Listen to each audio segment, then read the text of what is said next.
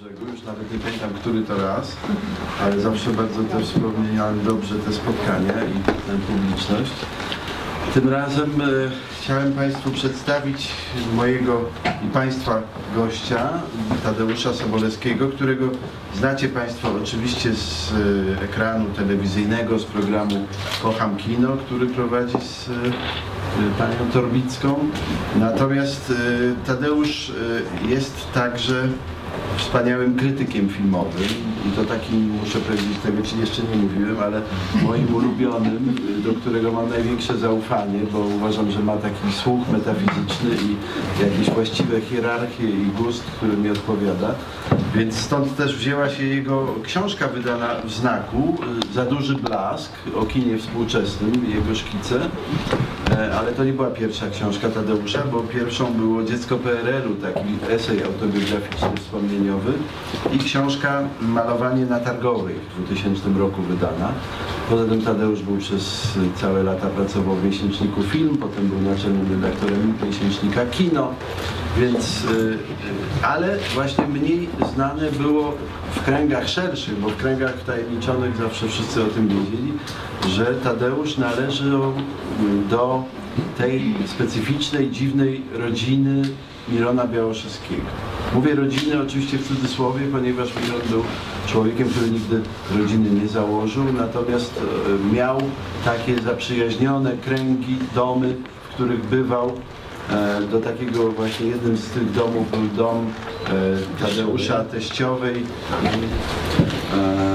więc może najpierw taki krótki historyczno-literacki jeszcze e, wprowadzenie konieczne, mianowicie Miron Białoszewski to jest rocznik e, pokolenia Różewicza, Szymborskiej, natomiast debiut jego jest o pokolenie jakby późniejszy, bo w 1955 roku w życiu literackim ukazał się taki głośny tekst Błońskiego za 5.12 prezentacja pięciu młodych poetów, każdego prezentował, wprowadzał wybitny krytyk, to był właśnie debiut e, Herberta, to był debiut Harasymowicza i to był także de- debiut Czycza i debiut Mirona Białoszewskiego, którego prezentował Artur Sandauer jako krytyk, zresztą potem towarzyszący temu pisarstwu przez długie lata i promujący Mirona.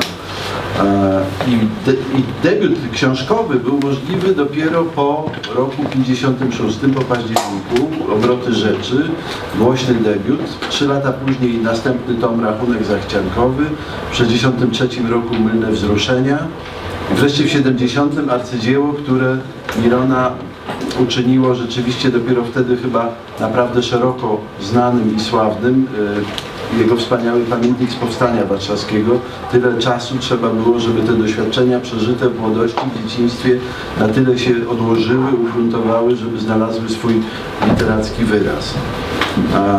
No i potem seria kolejnych książek prozą, Szumy zlepy ciągi, Rozkusz, Zawał. E, o tym będziemy już właśnie rozmawiać razem.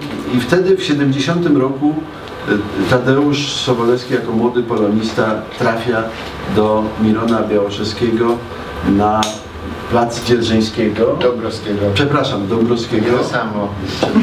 Ja jestem z Krakowa. Specjalnie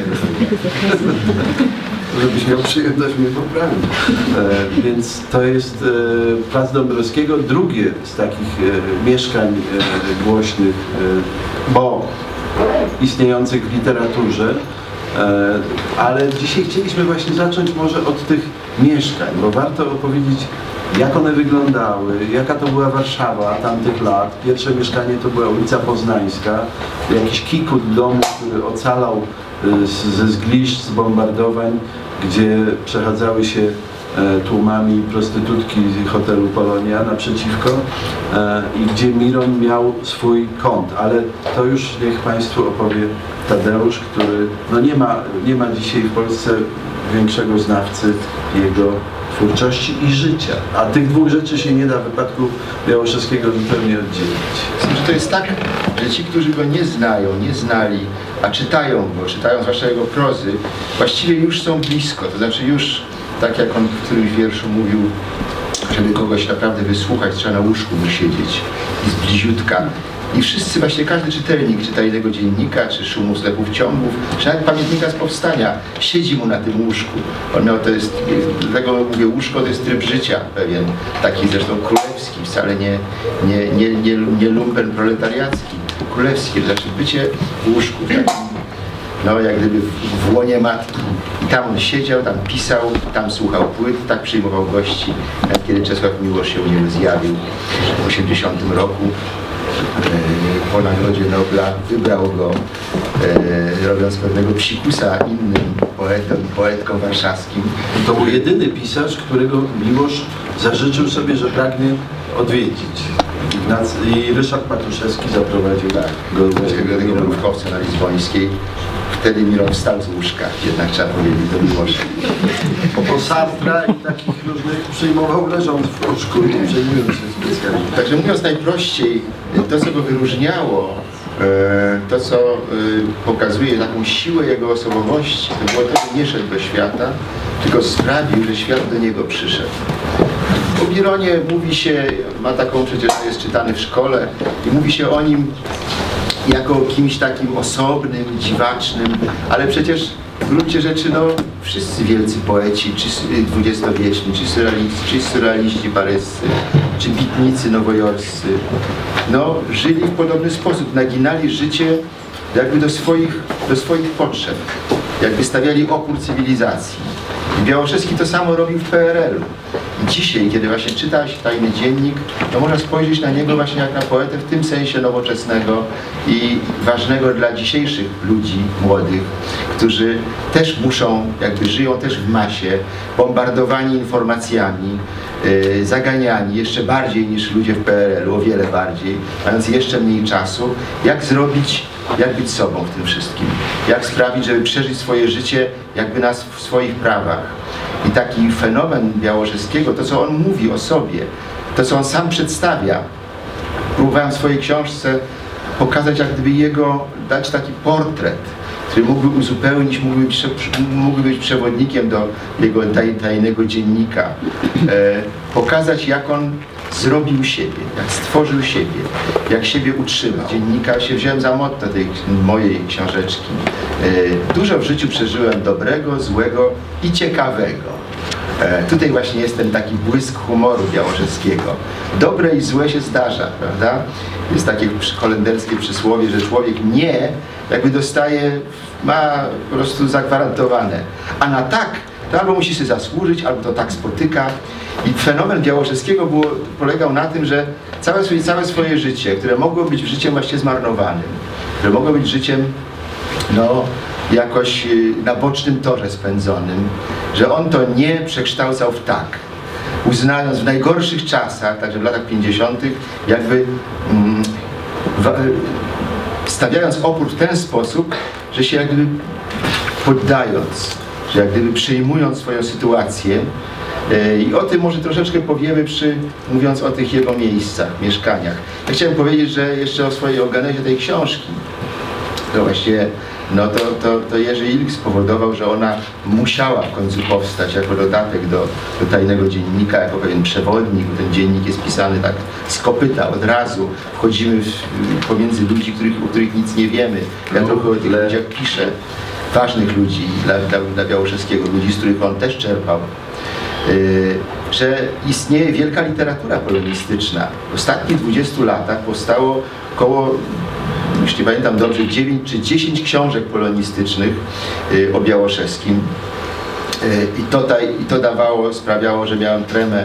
Jedną z tych książek napisała moja żona pod tytułem, który jest takim, który jest zdanie, y, które powiedział o nim właśnie jego mentor Ludwik Helling, maksymalnie udana egzystencja. I to powiedział w momencie jakiejś zapaści, choroby, jednak gdybyś miał umrzeć, to pamiętaj, twoja egzystencja była maksymalnie udana. E, I, i e, to był pierwszy powód tremy. Drugi powód to jest to, że Białoszewski sam napisał monografię swojego życia. Cała jego twórczość jest w jakimś sensie dziennikiem, gdzie coraz bardziej, im, im później, tym bardziej coraz bardziej się odważał pisać bezpośrednio o sobie i o ludziach wokół. wokół. Także e, tajny dziennik nie różni się zasadniczo od, nie wiem, od Hamowa, od szumu zlepów ciągów, jest tylko prostszy, jest tylko bardziej surowy, jest częściowo nie pisany, tylko dyktowany na magnetofon Jadwigi Stańczakowej, od razu z interpunkcją. To też jest, yy, prawda, jakiś fenomen, że, że poeta równocześnie jest reporterem. I on jest takim reporterem samego siebie. Yy, Także patrzę na niego i myślę, że sens tej, tej książki polega na tym, żeby tak zarysować, troszkę się zdystansować do niego, troszkę nawet zbuntować i zarysować portret człowieka, który jest, który jest który jest portretem właściwie bardzo pozytywnym. Komuś, kto naprawdę nie zmarnował życia, chociaż jak mówię, od początku do końca miałby powody, żeby to życie było zmarnowane. I przez biedę, i przez choroby, i przez wyobcowanie, przez to, co się nazywa orientacją dzisiaj, przez ten jego homoseksualizm, który był, który on uznał bardzo wcześnie. On o tym mówi też w swoim dzienniku. Uznał siebie, stał się odporny na krytykę. Później to mu się przydało, kiedy jego krytykowano, jego pisanie. No i jest taką osobną właściwie wyspą, w moim poczuciu bardzo wielkim poetą, dlatego, dlatego żeśmy do niego przyszli kiedyś, a on nas zatrzymał przy sobie. bardzo powiedz, wiele nam dał. było? Jak to było? Bardzo, bardzo prosto. To, to był Pierwsze spotkanie. 70. Y, Ja się spotkałem z nim y, czytając pamiętnik z Powstania Warszawskiego, który mnie zachwycił. A był to czas bardzo taki pusty, niedobry. Dla mnie, dla, naszego, dla naszej generacji, dla mnie też osobiście. Y, Koniec, koniec, koniec studiów. Po 68 roku one straciły sens, bo najlepsi wykładowcy odeszli, zostali wyrzuceni. Y, Pamiętam swoje notatki z wykładów filozoficznych Bronisława Baczki. Doszedł tylko do Kanta. A ciekawy byłem, co on o Marksie powie. Już nie miał okazji powiedzieć, bo już został zmuszony do emigracji do Francji. Ej, Pusty czas, 70 rok, strzały.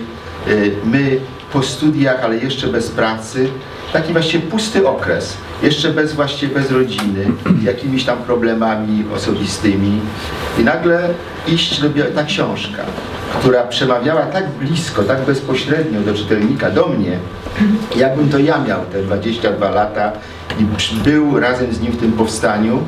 E, czytałem to jako, to już mówiłem kiedyś, ale i mówię i powtarzam to tutaj, ale powtarzam to także młody człowiek, z którym dzisiaj rozmawiam, jako powieść przygodową, jako powieść o przeżyciu, czyli nie o klęsce, ale o tym, e, jak przeżyć koniec świata.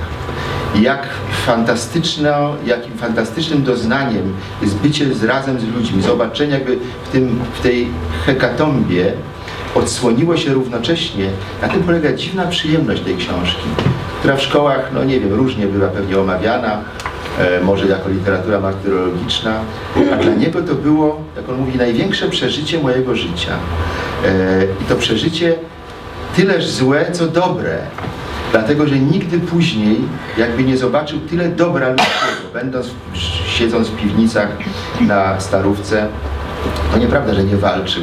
Ktoś, kto cały czas, nie wiem, zdobywa wodę, pożywienie, kto nosi rannych, kto cały czas jest na służbie, kto układa litanie, które mówią ludzie w piwnicach, całe tysiące ludzi, jego litanie, jego przyjaciela Svena Czakorowskiego, czytanie gazetek, cała ta liturgia życia, nagle objawiło mu się, że to życie, ludzie, którzy normalnie właściwie są, patrzą na siebie wilkiem, którzy w okupacji właściwie, no, okupacja degenerowała ludzi. Y, Nagle bratają się ze sobą. I paradoksalnie, że dopiero wtedy, przed tym, wobec tego końca świata, tego walącego się właściwie świata im na głowy, nagle wychodzi coś takiego jak, jak jakiś no, przedziwny taki ustrój nowy, matriarchat, solidarność. Y, I później już po powstaniu Miron nigdy tak się złożyło, a troszkę on sam do tego doprowadził, nigdy nie, już nie żył normalnie. Pracował przez jakiś czas jako dziennikarz w Wieczorze Warszawy, w dziale miejskim. Codziennie rano wyruszał na miasto, czy coś się nie zdarzyło. Opisywał katastrofy, opisywał, y, opisywał odbudowę, opisywał, nie wiem, ekshumację. Wchodził na, na, na, na, na zrujnowany Prudencjal, na ostatnie piętro i robił tam zdjęcia. Y, I później świat młodych, później wyrzucenie z pracy w sercu, jakbyś na samym dnie lat stalinowskich.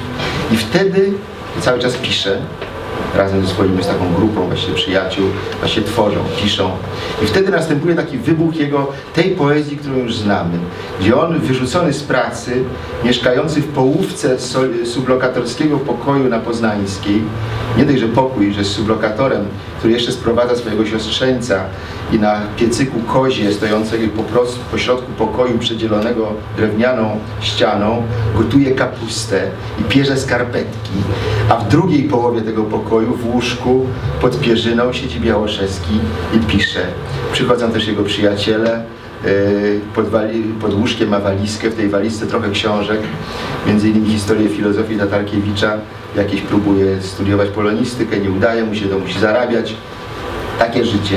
I w tym właśnie jak gdyby piekle, jak gdyby na samym dnie, przychodzi ten moment olśnienia, takiej prawdziwej epifanii, kiedy on jakby następuje coś takiego, jak, takie, jak, tak jakby się y, y, życie zamieniło proporcjami, jakby się to, co było na, na dole, staje się nagle na górze.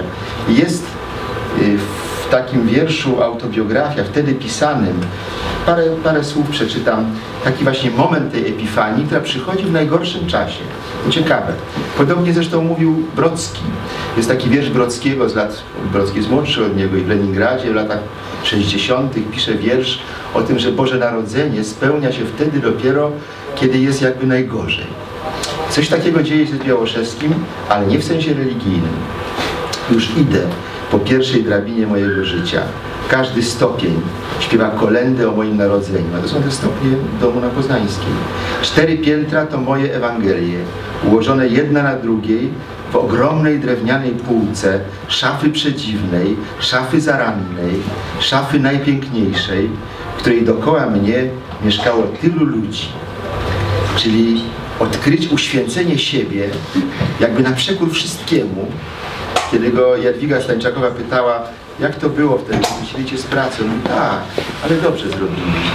Z perspektywy późniejszej trzeba powiedzieć, że bardzo dobrze zrobili. No, że przestał być dziennikarzem świata młodych. Żył z piosenek dla radia i dla wojska. Nie, nie znam tych piosenek. Takie były, jak wtedy pisano. Niewiele z tego miał. Żył z obiadów u mamy w Garwolinie, ale zaczął, jak gdyby znalazł prawdziwy temat swojej poezji, którym było właśnie ja. To znaczy on tym ja, to była jego broń przeciwko historii, przeciwko ideologii, przeciwko społeczeństwu, yy, co do którego wcale nie miał złudzeń. To znaczy jemu się wydawało w pewnym momencie, że ci, którzy idą w pochodach, równie dobrze mogą chodzić do kościoła, że to jest jak gdyby on jest poza. Tamci gdzieś idą, zdobywają, a on jest takim stróżem czegoś niewymiernego. Nie wiem, to może być, to niektórzy to mogą nazwać Bogiem, on to nazywał, no właśnie nie nazywał, to on znajdował to wewnątrz, wewnątrz siebie. I wtedy następuje ta właśnie, ten moment właśnie najwyższego życiowego szczęścia i tego odnalezienia siebie i takiej filozofii, odnalezienia też filozofii, której on szukał. Szukał jej u, Heraklita, szukał jej w psalmach, gdzie też się mówi o tym, że człowiek przyjmuje to, co z nieba leci jako najgorsze, nie jako grad, tak jak dzisiaj grad pada, jak tu jechaliśmy, to psalmista mówi przyjmować to jako kąski. Prawda? Szukał pomocy u mistyków, prawda? u ciemnej nocy Jana od Krzyża, ale cały czas nie będąc człowiekiem jakby wierzącym. To też jest paradoks i to o tym wszystkim jakby bardzo to jest ciekawe i takie dające do myślenia, być może pomocne dla wielu ludzi dzisiaj też, jak z niewiary zrobić wiarę inną, taką, która jakby nie, nie słucha się czegoś innego, nie, nie patrzy gdzieś w niebo, tylko patrzy do środka człowieka, tak jak to robią jogini. Ale przecież nie był joginem, właśnie nie, nie da się przypisać go nigdzie. Młodo, ktoś go kiedyś zapytał w wywiadzie, długo pan się tak będzie jeszcze bawił? On mówił, tak, przecież mam dopiero 37 lat. Yy, wszystko to jest zuchwałe i bezczelne, prawda? Wobec wszystkich, wobec nakazów ustroju, wobec całego tego polskiego też etosu właśnie bycia, pracować życia dla społeczeństwa, dla innych. On to wszystko obraca do góry nogami i wygrywa, bo to dzisiaj dopiero ma jakby wartość. On mówi, jest się samemu człowiekiem też, prawda? Wniknąć najgłębiej swoje myśli, uczucia, swój język, przebić się przez bariery języka, I kiedy byśmy do niego przyszli, on jakby wyszedł swoim pisaniem w świat. Zaczął opisywać e, właściwie taką, no zaczął opisywać miasto, uznał się za właściciela języka polskiego, za piewcę marszałkowskiej i drugi na koniec, zanim jeszcze ciekawy mnie o co, o co Jurek będzie, pytał, przeczytam fragmencik już z tych lat późniejszych, tej właśnie innej euforii, tego dojrzałego białorzewskiego, tego, którego myśmy poznali. Z, tego, z tych paru zdań prozą y, można, może Państwo odczują, co w tym człowieku było takiego przyciągającego. O dziesiątej wygruziłem się w świat. W nocy przeżyłem sobotę, czyli raniutko niedzielę, a okazało się, że dopiero mamy dziś przed sobą. Doba zysku, za to wielki świat jak przez szybę, nagrzany, zaludniony, same procesje, wystawa, marszałkowska, wielki, wielki świat, sobota, Pan Bóg odpoczywa na niebie, Matka Boska suszy pieluchy na Pałacu Kultury, tam gdzieś do Rymu nowy świat stary. I co tam się dzieje, a w deszczu jak biegłem i bo siusiu dopiero na Wareckiej była czwarta, tłok na tłoku, parasole, krótkorączki i tylko one, baby, chłopy, starsi, młodsi, kuli, dziobali, grodzili, deszcz na nich rósł i na mnie. I tak dalej. Taki opis miasta, e, w którym on jest w sytuacji luksusowej. O tyle bardziej, o tyle luksusowszej, że nie chodzi do pracy. Pracuje właśnie wyłącznie, żyje wyłącznie na użytek swojego pisania i mówi, że spisze wszystko. Więc jak było nam właśnie tym takim jakby trochę przetrąconym, troszeczkę przetrąconym przez te czasy, przez życie, przez konieczność szukania jakiejś pracy w redakcjach, to był luksus znaleźć się w kręgu tego człowieka, który dawał sam jakby nie robiąc nic, wyglądając jak półnędzarz, chodząc w cudzych łachach, e, e, dawał poczucie bezpieczeństwa takie, jakby się miało paszport jakiegoś innego państwa. PRL też, tak, owszem, PRL był wtedy fantastyczny, to były czasy, nie wiem, Wajdy, Kieślowskiego, Holand, Swinarskiego, no, niebywałe Konwickiego, Stachury, bardzo bujny czas. I nagle w tym wszystkim ten Miron dający poczucie azylu. Tam w nocy często, wtedy się jakby mo można było nie spać, a rano do pracy. Redakcja, tygodnik film, kino, e, rodzina, żona, dziecko i cały czas odskoki nas wszystkich, ale te razem i, i osobno do Mirona, do Mirona, e, no jako do tego stróża takiego, stróża rzeczywistości, patrona, nie wiadomo, trochę przyjaciela, trochę kumpla, niby mistrza, nie wiadomo co. Ludożercy także. Ludożercy, tak, bo przecież on nas pisał, pożerał nas, co wcale nam się nie byliśmy tym wszystkim do końca zachwyceni, ale też myślę, że dzisiaj bezczelnie mogę powiedzieć, że on z nas też wiele jakby zyskał, no, przepisywaliśmy jego utwory i zachwycaliśmy się nim i po raz pierwszy on jakby znalazł, nie ma większego przyjemności dla poety, jak znaleźć, znaleźć słuchaczy. I myśmy byli takimi, takimi chyba dobrymi słuchaczami e, jego. I to spowodowało, że ten tajny dziennik y, on w końcu dał, zapisał jakby prawa do niego dał Jadwidze Stańczakowej, która stała się jego jakby niewidomą sekretarką y, mojej teściowej. Y, tworzyliśmy razem taką rzeczywiście półrodzinę z nim. Zapisał to jej, a potem, potem nam. I moja tutaj w ogóle obecność jest stąd, że jestem właścicielem tego razem z Anią, jesteśmy właścicielem tej książki i szczęśliwi jesteśmy bardzo, że ona wyszła wreszcie w tym czasie mniej więcej, jak on przewidywał, że powinna wyjść. Strasznie miałem tremę, jak się ukazała, czy będzie to czytelne, czy będą ludzie to czytać, czy y, począwszy od zdania bo to nie jest, to nie jest dziennik Iwaszkiewicza, to nie jest dziennik Dąbrowskiej, to nie jest, to jest coś innego, to jest rodzaj powieści czy Gombrowicza. J został wpuszczony, potem Anula myła podłogę, musimy, nie wiemy jeszcze, to, to, to, są ci ludzie. Wchodzimy i przez tysiąc stron, przez 13 lat razem z nimi jesteśmy. Czyli to jest, to jest powieść. Miałem straszną tremę, ale teraz już, ma, już mam mniejszą po tych paru tygodniach jakby życia tej publicznego tej książki, mam mniejszą, bo spotkałem czytelników, obcych zupełnie ludzi, często są to kobiety, ale nie tylko, i młodzi i starzy, którzy się na tą książkę rzucają. I są też tacy, którzy mówią, że to jest to jest jakieś, jakieś czytadło, tam nie ma tych, nie wiem, przemyśleń politycznych, czy tam nie ma, nie wiem, jakichś, tak jakby nie, nie, nie, nie czuli, nie, tej e, rewelacyjnej zuchwałości jego. Co jakiś czas on odsłania siebie tak jak nikt właśnie z tych ludzi, których wymieniłem, a przecież mieliby co odsłaniać, jak nikt tego nie robi, a on to robi z całą odwagą, bo mówi w jakimś wierszu, w takim tangu swoim przedostatnim i tak człowiek będzie święty, jak już zejdzie stąd. Czy można coś bardziej bezczelnego powiedzieć i rozbrajającego? Tak, no to ta, ta jego ludożerstwo polegało na tym, że on rzeczywiście cały czas, i to życiopisanie, to było pisanie o wszystkim, co widzi, o wszystkich, y, podsłuchiwanie tego, co mówią ludzie na ulicy, co mówią baby z Garwolina, co mówią przyjaciele. Nawet w kręgu jego były pewne nieporozumienia i pretensje, jak odnajdywano potem, y, odnajdywali oni siebie w jego prozach, w jego utworach, że on ich tam po prostu wkleił, bezceremonialnie umieścił. Mówiło się, że jak on wychodzi z pokoju na chwilę, to pewnie po to, żeby szybko zanotować czyjąś wypowiedź e, i, i, i żeby ona właśnie zachowała, bo miał to ucho niesamowite. I jest taki wiersz jego, który o tym troszkę mówi. E, tłumaczenie się z twórczości. E, chcą od mojego pisania nabrania życia otoczenia, a ja ich łapię za słowa, potocznie, potworzę, potworzem, czy, czy, czy nie, także potwory, e, potwornie, to wszystko gra. Ten język Mirona, ja myślę, że on jest dlatego wielkim poetą, że jego można rozpoznać po jednej linijce. I to jest miara wielkości i geniuszu, że jego nie można pomylić z nikim, że przeczyta się jedną linijkę i się wie, że to mógł napisać tylko, tylko Białoszewski.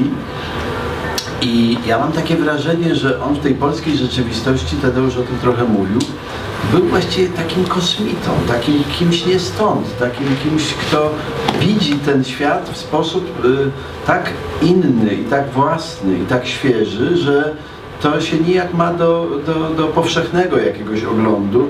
Nawet właśnie takie pamiętam zdanie jego, jak on opisuje, bo akurat widzi gdzieś w telewizji u kogoś e, Wojtyłę, jak wychodzi na tym placu Świętego Piotra, to słynne no, na Paura i on to zapisuje, że wyszedł, wyszedł kardynał Wojtyła ubrany trochę z Murzyńska.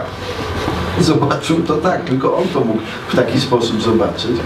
I tylko on mógł na przykład dla mnie, byśmy o tym nie mówili, wczoraj mieliśmy takie spotkanie w Kielcach też, ale nie mówiliśmy o tym, że na przykład dla mnie jest cudowna jego chyba najliteracko, najciekawsza, najbardziej taka szaleńczo odważna, nie biorąca pod uwagę tych wszystkich powinności patriotycznych, reakcja na stan wojenny.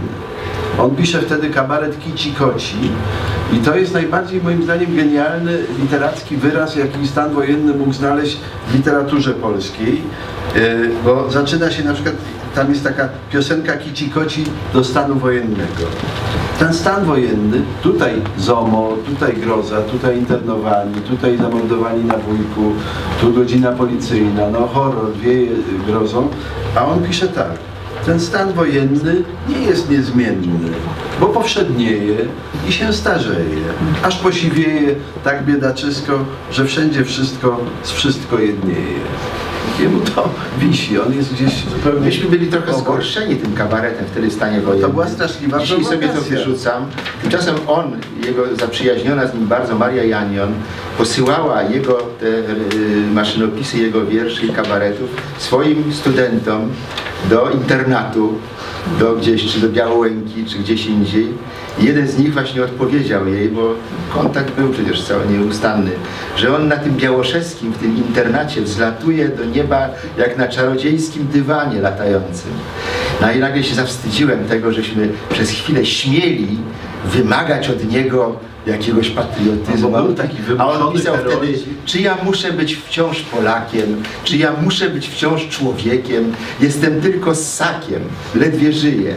I przecież to jest prawda, którą każdy właściwie poświadcza, może poświadczyć, każdy z nas to czuje, ale nie każdy się mo, o, może do tego przyznać. Jeszcze taki, nie mogę się oprzeć pokusie, żeby Państwu przeczytać taką, to są takie jak troszkę zielone gęsi gałczyńskie, Tak. rozpisane na role, takie krótkie i on różne postacie swoje znajome ubiera w takie pseudonimy właśnie Kicia Kocia, błogosławiona Siwol, Siwula, To są e, wszystko prawdziwe postacie. Cybilla Grochowa, to są jego znajome, którym on wkłada w usta te swoje absurdalne dialogi. I jest tak, bohaterka, łomotanina w drzwi, Kicia kocia chowa co się da, gdzie się da. Łomotanina narasta, przedmioty spadają. Kicia kocia biegnie do drzwi. Milicja, wojsko otwiera. Wpada błogosławiona Siwula z Wisznuwowi. Błogosławiona Siwula. Internowali do ciężarówki Sybilla Grochowa. Kicia kocia kiedy, gdzie? Teraz, tu. O co, w tym wieku? O przejście ulicy z torbą. Wiek każdy dobry. Ratujmy ją, może posłać koce i paczkę. Błogosławiona Siwula, dokąd? Kicia kocia, racja. Trzask drzwi, wtupuje się Sybilla Grochowa. Błogosławiona Siwula, kicia kocia. O Jezus, Sybilla Grochowa. Ha, ha, ha, uciekłam im. Jak? Sybilla Grochowa. Wzięli mnie za zasłużoną ciotkę ZMP, koru i Solidarności z przystępem do komunii. Buda pędzi, ja w niej sama. Zaczęłam tłuc butlami z mlekiem o przegrodę. Stanęli. Wtedy ja na siebie chlap, dwie torby czerwonej mrożonki na podłogę, w trupa. Zlecieli się, znalazły się mary. Ja nieruchomo, trup, trup. Raptem, jak się nie zerwę? Jak spieprzali? Umyłam się śniegiem na Grochowskiej. Ha, ha, ha. No i tak egzorcyzmuje miłość, e, Miron ten grozę, grozę stanu wojennego. Człowiek, y, który przeżył powstanie właśnie w środku. On po pierwsze boi się wszelkich rewolucji i zrywów, bo boi się drugiego powstania, które dopada go czasem we śnie. I taka, taki paradoks, że można jeszcze drugi raz zginąć w powstaniu, jak nie jest serce mu wysiądzie w czasie takiego snu. A z drugiej strony jakby przygotowany na ostateczności. I tą ostatecznością dla niego jest właśnie choroba, kolejne zawały, którą sam spowodował swoim trybem życia, tym spaniem, nie spaniem przez dwie doby i spaniem pod wpływem różnych środków, później przez kolejne Ale dwie to doby. trzeba powiedzieć, ja Ci wpadłem słowo, No. pozwolisz, że Miron żył w sposób niesłychanie osobliwy. On miał okno wybite czarną materią, żeby mu w ciągu dnia światło nie przeszkadzało, bo on w dzień spał. E, Natomiast żył, budził się nocą i żył nocą i nocą się wypuszczał na swoje łowy w miasto, e, nocą przyjmował przyjaciół i wszystko to jeszcze było ze wspomaganiem różnych farmaceutyków, to znaczy pobudzał się środkami rozmaitymi, e, takimi psychopenodnymi, natomiast e, żeby spać potem brał jakieś środki nasenne, no i to byłoby na przykład bliskie Bronkowi Majowi, jak czytam tutaj w dzienniku, mówi spałem 30 godzin. Albo obudziłem się o 23 w ogóle i wtedy Ale to dopiero- nie było żadne dziwactwo, znaczy to wszystko było podporządkowane pisaniu. Tak. Żeby napisać, trzeba było zdobyć, jakby gonić za natchnieniem, za spotkaniami, za wydarzeniami, a później nie można było iść spać, bo wszystko to poszło na marne. Później trzeba to było zapisać. W takim to, transie. To, zapis, to zajmowało się tą dobę, dwie, a potem trzeba było to odespać. Mało tego, z tego też korzystał ten sprytny właściwie autor, ponieważ miał sny. Duża część tego dziennika to jest kilkadziesiąt snów. Tutaj on może konkurować tylko z Marią Dąbrowską, która też była, y, miała tę zdolność pamiętania i zapisywania snów. Sny niesamowite, tłumaczące go, czasem kompromitujące, sny prorocze, sny absurdalne, sny, gdzie łączy się, tak jak u niego, niskie z wysokim, gdzie przed wychodkiem dworcowym stoi trzech wieszczów, na przykład. On to łączy. To są bardzo głębokie sny, także ten ostatni, który jest w dzienniku, przedśmiertny. Nie, nie jestem w stanie w tej chwili go jakby streścić ani, ani zinterpretować. Niesamowity, głęboki. Ale mówiłem o tym właśnie gotowości na ostateczności, o tym takiej dzielności Mirona, o którym mówiono. Przeczytam taki jego tango, który pisze, napisał niedługo przed śmiercią w szpitalu. Akurat byłem w jakimś sensie przy tym. On mi dał, kiedy go odwiedziłem w szpitalu na Szaserów, na Grochowie, masz rękopis tego, tego tanga, tego kabaretu Kicikoci do przepisania. I to jest tak. Poeta w czasie reanimacji pisze tango dla Kicikoci, zamówione przez nią pilnie o trzy dni wstecz w nastroju balowym. W mym półgrobie piszę tobie zamówione tango. Póki żyłem, nie zdążyłem, teraz za to mam go. Kanto. Nie bój się nic, bo życie nic nie znaczy, bo śmierć jak ryc, zdrowa dla umieraczy. Już Hamlet Fryc myślał, że przeinaczy, tańczyć z przegięciem. Nie wyszło mu nic a nic z tym jego byc albo nie byc. Y, I kiedy mu przyjaciel Ludwik Hering, taki mentor, zarzucał, że jak to przecież, co ty piszesz, przecież Ham, Hamletowi właśnie y, wyszło, wybrał życie. On mówi, nie, mówi Milon w dzienniku, nie chodziło o większe co innego, o to, że wszystko ginie, wszystko się kończy, rozprasza, że nic nie zostaje, ale na tle tego nic on tańczy to tango. Tu jest jak gdyby cała siła Białoszewskiego, taka można powiedzieć metafizyczna w najprostszym sensie, e, tylko nie posługująca się pojęciami religijnymi, tylko jakby stworzeniem takiej własnej, jakby dla, na swój użytek religii, po to, żeby e, po prostu no, każda religia afirmuje życie. I on też to robi, mimo tego nic, mimo tego, że jest tym tylko, tylko tym ssakiem. Bardzo ciekawe połączenie, jedyne w swoim rodzaju, pewnego jakby pesymizmu i optymizmu, nihilizmu i wiary. I to u niego waha się do samego końca i nigdy ta waga nie, nic nie przeważa. Wszystko to jest jakby gotowe. I teraz, czytając ten tajny dziennik, my znowu jakby jesteśmy, on zostawia nas tym problemem, wciąga nas, chociaż jego już nie ma, a my dalej jakby nim żyjemy. Bardzo to wszystko jest dziwne, zastanawiające, wzruszające w jakiś sposób.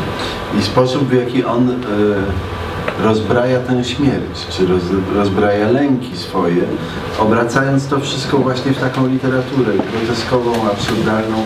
Kabaret Kicikoci kończy się takim oto tekstem. Wywiad. Mistrz Miron. Puka. Puka? Kto? Uchyla. Aha. Chwileczkę, już. Pani gość. Pan woli ludność czy bezludność? Mistrz Miron. Trochę bez, trochę z. Pani gość. Z, z to nie przeszkadza? Mistrz Miron. Jak fruwa nie, w rurach nie, jak za długo siedzi tak. Pani gość. Tak się rozglądam. Dobrze tu panu? Mistrz Miron.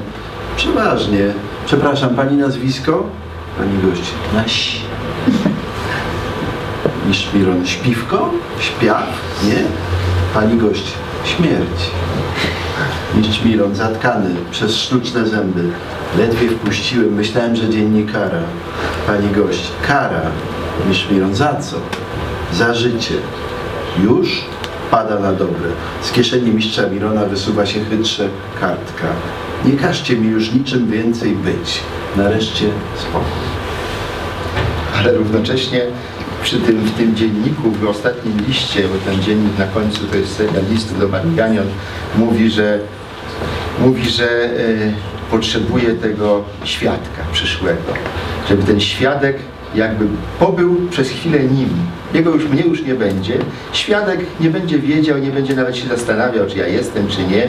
Po prostu czyta mnie. I w ten sposób ja potencjalnie pobędę sobie po śmierci. Czyli takie, mówi to, co przecież no, znamy z tej klasycznej formuły non omnis moriar, nie wszystek umrę. I on mówi to samo, tylko w formie nieomalże właściwie kabaretowej. I taka, to, tym kabaretem swoim właściwie załatwia no, podstawowe problemy metafizyczne. Także wśród tych książek o nim, które są, tych polonistycznych, tych mądrych, głębokich, yy, tam się posługują i Kierkegaardem, i Heideggerem, yy, i egzystencjalistami, i Sartrem, po to, żeby ująć w jakąś formułę tą jego, ten kabaret właściwie, kabaret spraw ostatecznych. Także yy, Poeta spraw, że tak o nim powiedziano, to Michał Głowiński powiedział, poeta rzeczy ostatecznych, widzianych od strony codzienności. I poeta zgody na to, co jest. To jest w Polsce czymś właśnie takim bluźnierczym wręcz. Polak nie, nie jest w stanie zgodzić się. Znaczy musi, musi, Się buntować. musi wymachiwać pięścią albo szabelką, musi też się nie zgadzać, musi nie lubić siebie, a u niego wszystko na odwrót.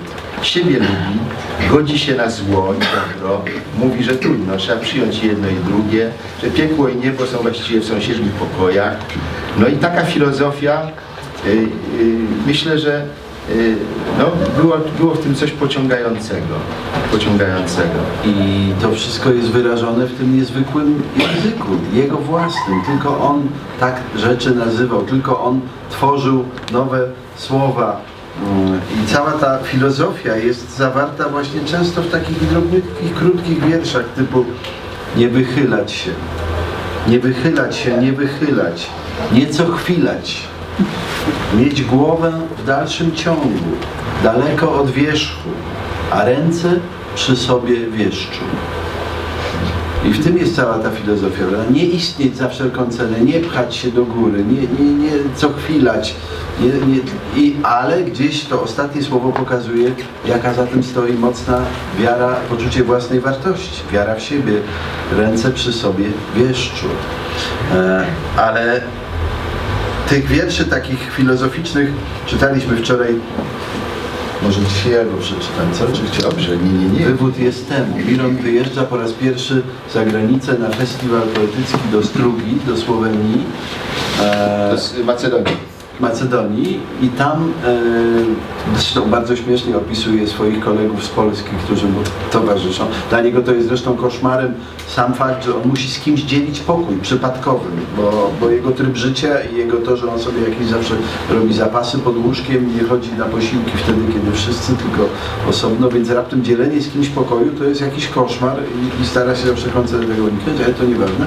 Tam czyta wiersz, który dum, z dumą odnotowuje w dzienniku, że został bardzo dobrze przyjęty już w oryginale, jeszcze zanim tłumacz przeczytał jego przekład, mianowicie wywód jest temu.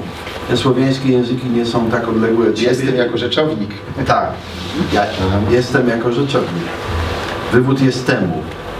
Jestem sobie. Jestem głupi. Co mam robić? A co mam robić? Jak nie wiedzieć, a co ja wiem? Co ja jestem?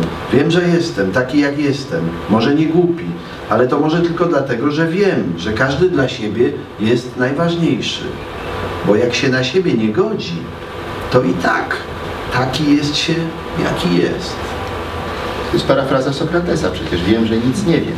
Tak. To jest to samo myślenie, tylko właśnie ubrane. Być może Sokrates w taki sposób też przypadał w tak potoczny sposób. Jeszcze zanim puścimy kawałeczek filmu, żeby obejrzeć jedno z mieszkań Białoszewskiego, to przeczytam wiersz o tym mieszkaniu e, na Lizbońskiej w bloku. Ostatnie jego mieszkanie, w którym po raz pierwszy w życiu był sam. Wreszcie był sam, osiągnął to, do czego dążył od 1945 roku. Trzecie mieszkanie. No trzecie, trzecie, przedtem Poznańska, potem Plac Dąbrowskiego, które dzielił razem z Leszkiem Solińskim, swoim przyjacielem, partnerem. I zostawił mu to mieszkanie. Partner w pewnym momencie się musieli rozdzielić, chcieli się wreszcie rozdzielić. Miron kupił mu mieszkanie, znaczy nie kupił, dostał kwaterunkowo przydział dla przyjaciela. Przyjaciel powiedział, o nie, ja mam depresję, nie mogę się wynieść. Białoszewski po swojemu, bardzo po swojemu rezygnuje. Mówi, jak tak, to ja tam pójdę. A my, ci młodzi, popierając go w tej, w tej walce, e, mówimy, jedź tam, jedź, przeprowadź się, rzuć tą klasykę do Śródmieście. Tam się zacznie coś nowego. I tutaj muszę powiedzieć, że mieliśmy rację. I my, i, ja, i Agnieszka Petelska, i Malina Kluźniak, i Gosia Olgierdowa, namawiając go na tą przeprowadzkę, bo tam wybuchły wiersze. Wybuchły wiersze, proza. Po prostu on odkrył każdą, każde miejsce nowe. On najpierw bojąc się tej zmiany, później to miejsce oswaja i opanował tą Warszawę, Grochów, to mieszkanie. E, To mieszkanie potrafi być natchnione. Skrzydło okna, ja we wnęce, szumi w uszach, zielsko naniesione na linii Noego. To stoi obraz, fragment ikony. Na obrazie, on niecały, stare zielenie brązowe powiewają od 300 lat i zgięty łokieć anioła. Czym jest ta sztuka, kiedy wieki lecą międzyplanetarnie, naszym pukaniem do siebie? Wszystko się osypie, ale coś woła. Gest szukający łokcia anioła. Taka właśnie nie w jego stylu troszeczkę, bo czasem przez chwilę poważna e, definicja sztuki, że ona polega na tym kontakcie i że on w pewnym momencie w tym oknie, w ramię oknia, w tym wierszu też jest taką ikoną. Już go nie ma, jest w tej chwili obrazem. Ja pisząc o nim, właściwie łapałem się cały czas na tym, że ja go właściwie zmyślam. Ja nie wiem, jaki on był. Ja go zmyśliłem. Być może każdy, kto o nim pisze, go jakoś zmyśla, ale to, no, czy to źle? No, cóż lepszego, prawda? Być taką ikoną i później jakby domagać się kontaktu. I to jest to, że na tych spotkaniach czasem o nim zawsze jest coś takiego, że on udziela się innym. To znaczy on powoduje, że ludzie się kontaktują między sobą. Coś takiego następuje, yy, że jego dawni znajomi się spotykają po prostu. Chociaż być może wcale by normalnie, może by się nigdy nie spotkali. Może by się nawet tak nie lubili. Nagle przez niego, przez to, że on skojarzył ich i coś takiego robił właściwie z, ze swoją okolicą, z miastem, z Warszawą, z Polską, że jak gdyby y, powtarzając ten, to spotkanie, które miało przecież charakter tragiczny, które on opisał w pamiętniku z Powstania Warszawskiego. Jego pamiętnik przewrotnie pozytywny pokazuje niebywałą solidarność ludzi z cywilnych, spotkanie, spotkanie ludzi, którzy jak gdyby nie mieli nic przed sobą do ukrycia, siedząc, mieszkając w tym podziemnym mieście piwnic. I nagle ten, ta, ten straszny moment stał się dla niego, aż nie wiem, aż boję się to powiedzieć, pewnym ideałem nieosiągalnym normalnie, a on swoim pisaniem właśnie coś takiego robi. Spotyka nas ze sobą.